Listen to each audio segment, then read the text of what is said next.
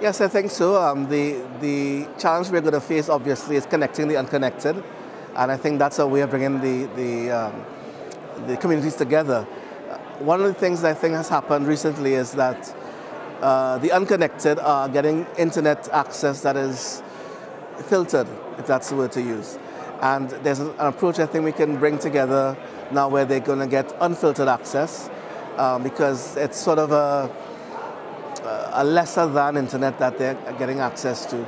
So I'd like to see that panel look at meaningful accessibility, and not only that, but ensure that those who are unconnected connect with content production as their goal, as opposed to content consumption.